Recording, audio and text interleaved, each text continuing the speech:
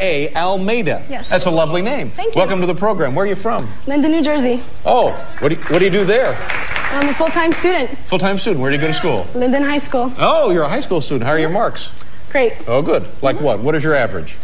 B. Oh, that, that is very good. And you have a little uh, trick